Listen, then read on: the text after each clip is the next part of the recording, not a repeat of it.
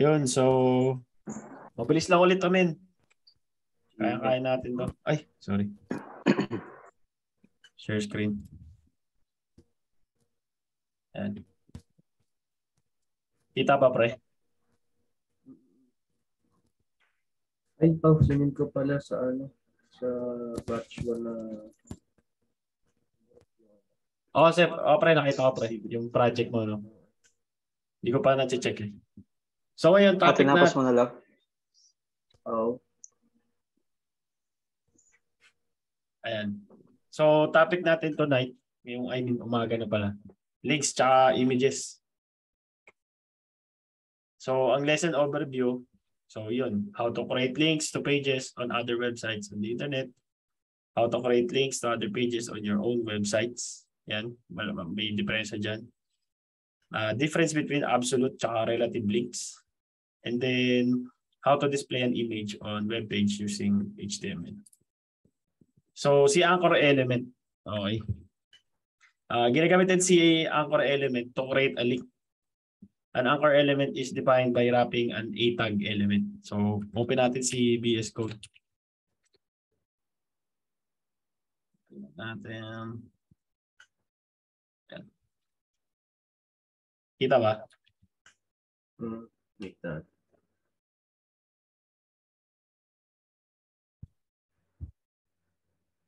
Tapos terminal.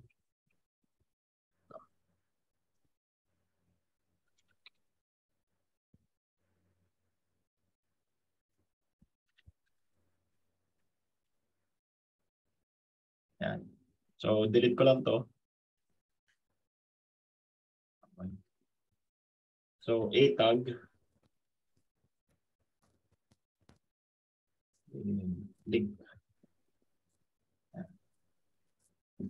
So, kung napapansin nyo, men, uh, ganyan mag-create ng, ano, ng anchor tag. And then, at the same time, uh, kung napapansin nyo, pag hino-hover natin siya, parang normal, siya, normal lang siya na text. So, para maging ano siya, yung parang link talaga siya, kailangan natin siyang dagdagan ng, ano, ng attribute. No? Itatawag ng attribute na href. So meron kasi tinatawag na HTML attribute like yung napag-usapan natin last time. Nat- nat- natandaan yun yung ID plus yan, natandaan niya, di ba? Hello? No. Ayan. Apo. Nat- nat- natandaan niyo to, di ba? Yung mga HTML attributes. Ah, ah. Okay. So, para mapagana natin yung link, kailangan natin magdagdag ng HTML attribute na href kung tawagin. Or ano siya, uh, hyperlink reference. So, yung HTML attribute natin dyan is yung href. Siya yung, ito yung name ng attribute. And then dito natin ilalagay yung yung link na pupuntahan nitong link na to. So, for example, facebook.com, di https fb.com. So, reload natin yan. So, mapapansin nyo men, dito sa may, na pag hinover ka siya, pansinin nyo yung uh, lower left corner. Kita nyo, no? So, nagkaaroon siya, nagkaaroon siya ng information about dun sa link. natin. Oo.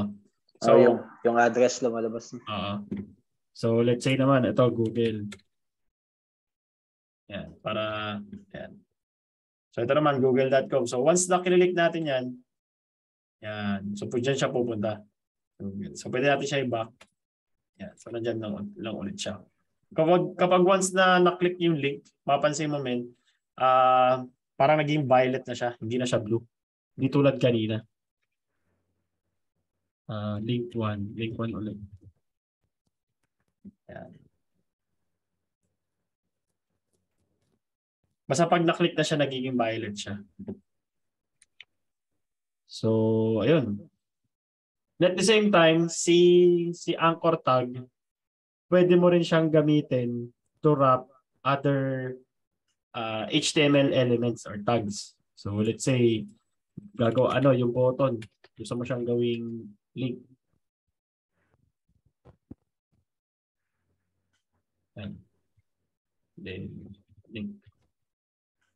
So pwede mo rin siyang gamitin just like that. So pag in-over mo siya, ayan, makikita mo, meron pa rin siya, gumagana pa rin siya dun sa lower left corner. Ayan. Okay, gets? Okay. Alright. links, links. So marami din, marami din siyang may mga ibang ways ways pa to. Kunyari gusto mong lagyan ng design yung button mo, yung links mo, di ba? So for example, gusto mong gawing button yung anchor tag mo. So ito medyo matagal pa naman to kasi CSS pa. Pero pag nagdagdag ka ng class and then let's say natandaan niyo yung ginawa natin na button tas button primary. Yung mga ganyan. So pwede pwede mo rin siyang ikon ano kumbaga lagyan ng style para magmukha siyang button using CSS tsaka classes. Ayan. So, yun lang, pang ano lang siya, pang pandagdag information. Pero most basically, ito na siya. Ayan. Tapos, may isa pang attribute eh. Meron mo to, yung target. Ayan Oo. target tapos pwedeng self oops pwedeng self so anong difference tingnan natin so ito blank yan tapos meron pa isa basically itong dalawa lang ginagamit eh self tsaka blank Oo. yan pag self ah, pag click mo yung link maglo-load siya sa same tab. Pero kapag target lang, mag-open siya ng new tab. Okay. Take down notes na lang yan just in case. Madali lang naman to. So, yun. Links. So, meron din mga meron din tinatawag na ano. May wait, wait lang. May may questions ba so far about sa links? Malinaw, malinaw. Anchor tag. Okay, good. So, sa Malinaw ano, ka pa. si ano naman, si absolute tsaka relative links. So, punta naman natin si ano, absolute links. So basically, si absolute links, ito yung mga links, it links to pages on other websites on the internet. Just like yung ginawa natin. Ito, tawag yan absolute link. So, meron, ang format niya, ah may, may protocol, kung HTTPS, HTTP, yung domain name, ito yung domain name yan. And then, let's say may path or kung ano mang, di ba sa, sa Google, something like may, ano ba to? Ah, google.com.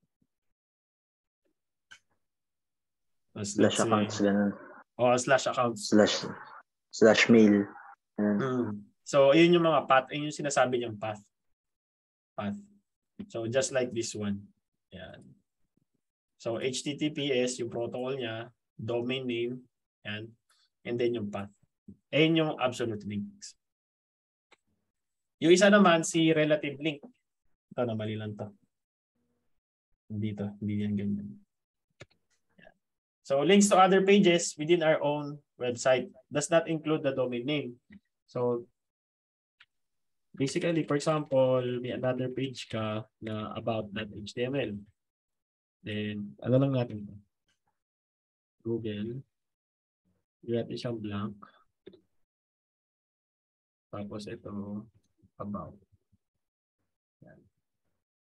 Um, so, does not include domain name, only include the file path to the other page. So, kapag pure HTML, CSS lang, for example, mag-create tayo ng new file, di ba? Uh, new file about HTML. Yan. Then, gawa tayo ng yan, HTML file. Tapos, ah gawa tayo ng H1. Oops. About. Yan. So, ano lang natin to, i refresh. So, balik tayo dito. Pag kinilik natin to si Google, ayan, absolute path yan. Absolute path. Okay? Pero yung sinasabi niyang relative is ipupunta ka, nasa nasa sarili mo pa rin ah, nasa loob ka pa rin ng sarili mong website pero ipupunta niya sa ibang page or ibang file na nasa loob ng iyong website. So kapag click mo yung about, ayan. So, pansinin nyo namin, ito yung parang directory. Nasa loob ka pa rin ng directory. Di ba? Mm. So, ganun si relative path. So, let's say, dagdag pa tayo ng isa. Let's say, um, index naman. And then H1.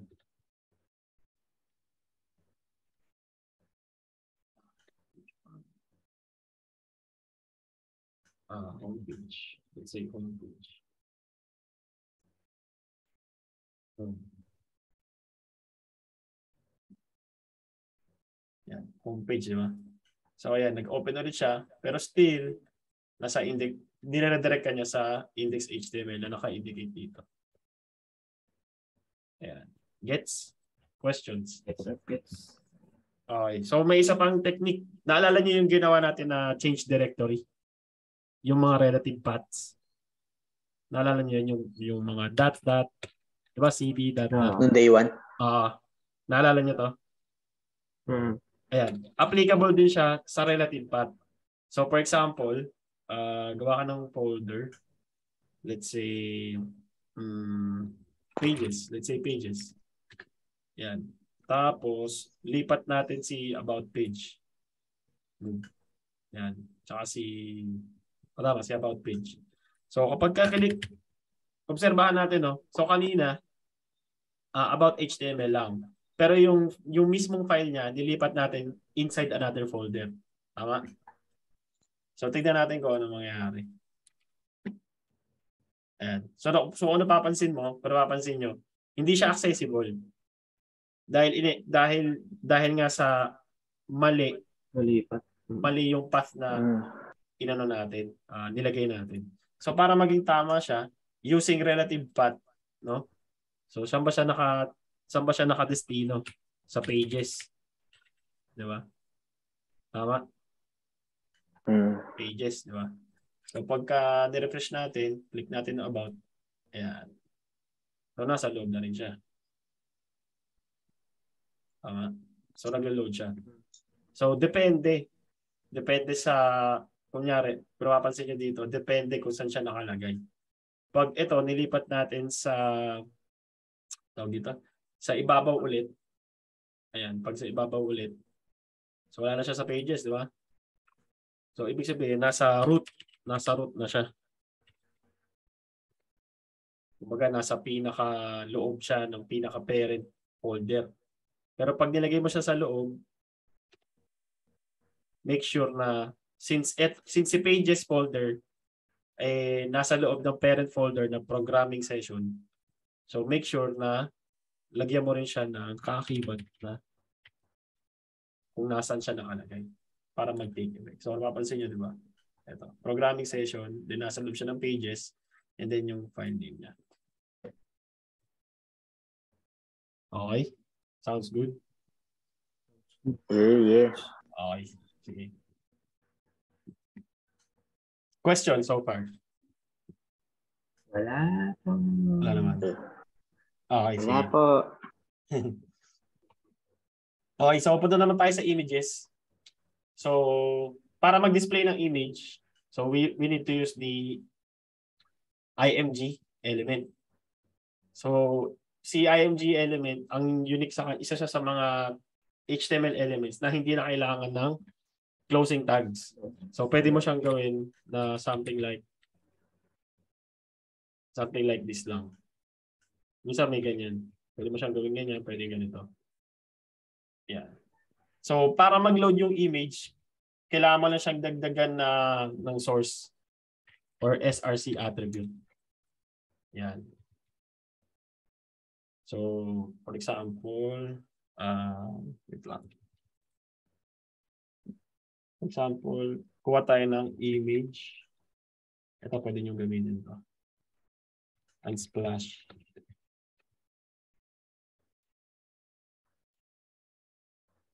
So, for example, ito, di ba? Kunin natin yung lang.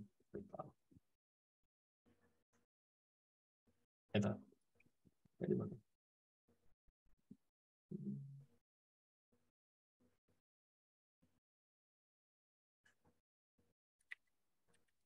Tingnan natin.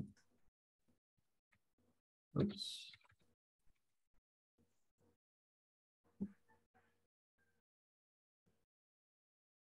Hindi siya nag-load. Ano ba dito yung ano?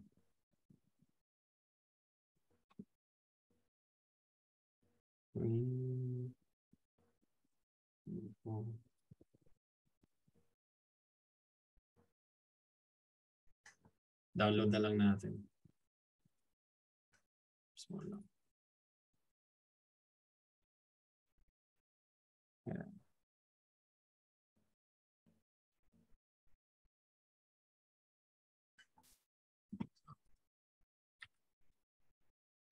Ayan, ito. Pwede kunin to. Ah, Share. Hindi, hindi, hindi.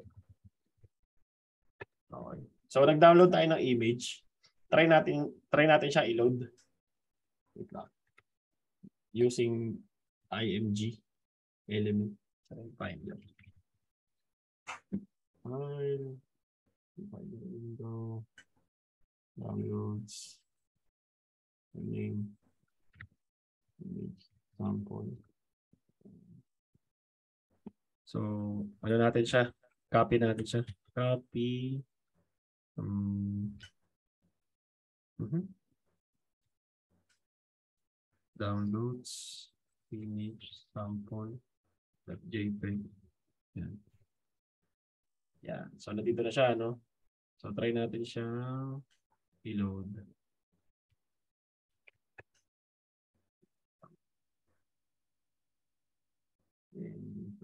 Yan. So, ganyan lang siya. Para mag-load siya ng image. Ah, IMG, and then yung source, and then yung path kung nasan siya. Pwede siyang absolute, pwede rin siyang relative. Just like this one. So, di ba yung, yung image, nasa loob siya ng folder na programming session. Di ba? So, relative siya. So, pwede mo siyang i-load sa HTML file mo. Okay? So, just like pages, just like yung ginawa natin sa mga relative path kanina, a while ago. Let's say, nag-create ka ng another folder intended for images. Di ba? Then, dyan mo siya nilagay. Okay, pag niload mo, wala siya, di ba? So, might as well, dagdagan natin siya ng isa pang value para mag-load siya kasi kailangan niya ng relative path. Okay? Kuha ba? Alright. Okay. So, ano tawag, ano pa tawag dito? Pwede ka rin gumamit ng inga absolute path just like for example Google Home tapos ano man pwede food. Say food. I- images. Uh, open image in a new tab. Ayan try natin to copyhin try lang.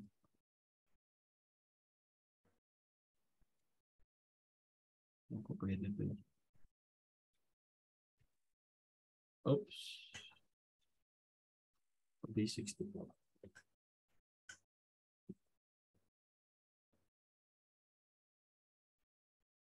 Naka day 64, hindi kaya.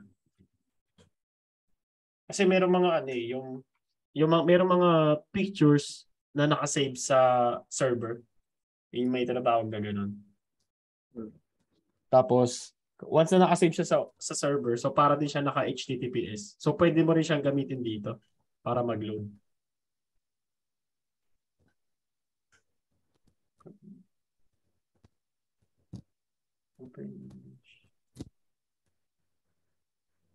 Ayun, ito. For example, ito. Yan. So, pansinin niyo to ito. Naka-HTTPS siya, di ba?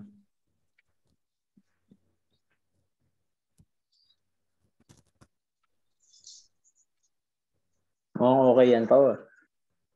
Alin. Ngayong gabi. Ayan o.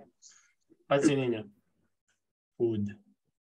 So, naka-HTTPS siya, just like, di ba sa, sa A tag, anchor tag. So, pwede ka maglagay ng href mo na absolute. So, ganun din sa image. Pwede ka rin maglagay ng absolute path nung, nung photo. So, malulod siya dito. So, pwede ka rin maglagay ng ano dito. Ano? Bukod sa SRC attribute, So pwede ka rin maglagay ng an- ano ng mga iba pang attributes like width. Yan. Pansin nyo? Lumiit. And then height. Mm. Di ba? Pwede nga ka-auto. Pwede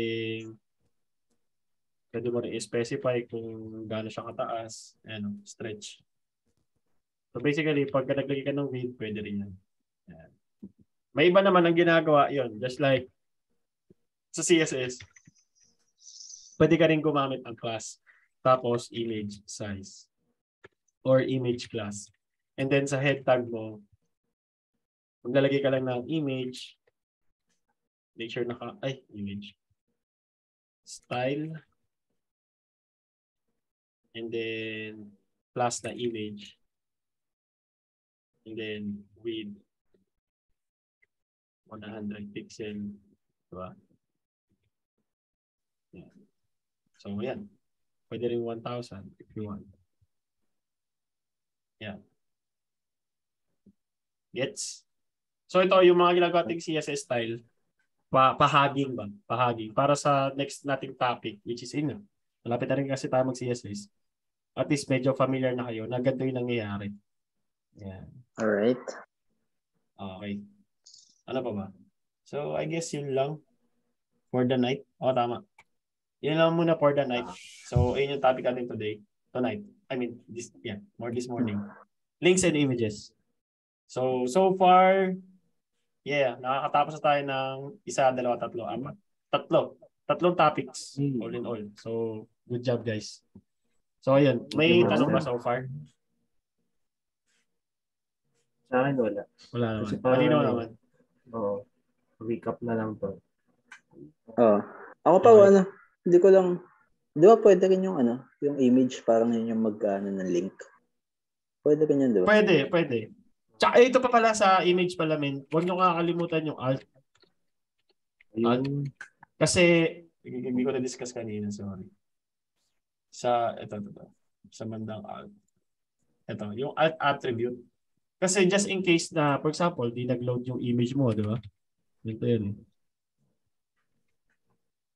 For example, kasi, hindi, kunyari, hindi nag-load yung image mo. Okay. So, ayan, ganyan siya, di ba? Ganyan siya. Then, nilagyan mo siya ng alt. Yan. Yan. Pansin mo, di ba, naglagay siya ng, ng value. So, si alt, ang importance niya, ang importance niya, ito, used to describe an image. So, pamilya sa caption, parang ganun. Ganun yung nalagay niya, yung parang, ano, um, yung image na ilalagay mo, let's say ito, food, uh, hamburger, oh yeah, running out of time. Wait. Pag wala kang data, no? Uh, hamburger. Basta kung, kung sakaling ayaw mag-load, uh, ganun siya nangyayari. Ayan. So, siya yung magdi-describe na kung ano yung gusto mong i-portray na picture. Ayan. At the same time, yan, use in place of the image if it cannot be loaded. Use with screen readers to describe the image is to visually impaired users. Ayan. So basically, men, yun lang. Yun lang tayo muna for today. Tapos bukas, new topic ulit. Ano na tayo? Ah, CSS na. CSS na. Tapos, ano, siguro update update mo lang Lor, kapag ka na ano mo na siya, na dual boot mo na. So, siguro po magagawa ko yung mga ano, sa rest day ko na. With- Pero within this week. Or next week. Siguro ano, by Sunday or Monday. Ah, sige, pwede, pwede, pwede. Kung Sunday, much better. Kung Ah. Sunday, much better. Kasi para by next, kasi next week, man, ayun nga, pag-aaralan na natin yung Git. Git and GitHub. So, yan. Medyo, ano na to, medyo mabusisi na to, pre. Ayan. So, pinag-iisipan ko pa kung kukunin ko na yung, ano, yung, yung sa Zoom. Para hindi tayo patigil-tigil. Medyo, ano na kasi to eh, pabitin na ano to, tawag dito, medyo mahaba ng dis- discussion to kasi tuturuan ko na kayo mag-setup sa laptop niyo pre ng ganito, yung mga Git and GitHub. Ayan. So Ayan. So si Lawrence tapos na. Hinintay ko na lang din si hindi hinintay na natin ba Je, kung ano, kung matapos mo yung project. Sige, men. Tatry ko bukas. Oo, men. Basta notepad, maano lang yan. Hindi kakain ng memory yan. Pero, ayun, kung sakaling mabagal talaga, ah tingnan natin. Ano, gawa natin ng paraan. Oo, gawa natin ng paraan. Sige, So, sige. Ayun, men. Ayos. Congrats. Tuloy-tuloy lang, men. Medyo, sa ngayon, medyo boring. Oh, sa ngayon, medyo boring part pa kasi HTML pa. eh. Pero, once na nakatungtong tayo ng CSS pati JavaScript, men, promise. Matutuwa na kayo, men. Hindi na boring. Sa ngayon, medyo ano pa eh. sim- Sobrang basic pa ng mga topics. Oh, okay to. Nare-recall ko yung mga ano, mga luma. Mga Ah. luma kong alam. Mm. Kaya kaya nyo yun, men. Mag-enjoy kayo pagdating ng CSS pati JavaScript. Ayun. So, paano? Bukas ulit. Alright. Okay, men. Salamat ah. Salamat, Pao. Salamat. Okay, men. Ay, ano muna tayo? Picture. Ayun, picture. Uy, Dragon Ball. Bagong gising eh. Wait lang. Wala pa si Lawrence. Ayan. Uh, ready? Okay. One, two, three. Ayos, men. Pwede na. So, kita tayo bukas, men. Last day tayo bukas. Last day tayo bukas. So, ano ulit? Monday na ulit tayo, Peder. Okay. Alright. Okay, men. Kita kits. Good night. Good night. Ay, Good last night day. Hindi, hindi pala. Ano? Ano pala, ang last day natin, Sabado na madaling araw. Tama, di ba? Ah, tama, tama. Oo, kasi Friday. eh. Tapos, di ba, 12 tayo magkikita ng... So, 12 ng Sabado tayo, men. Yun yung last natin. Oo, tama. Oo. Okay, men. Tama. Sige. Alright. Good Alright, night. Good salamat. night. Bye. Salamat, Pao. Yeah.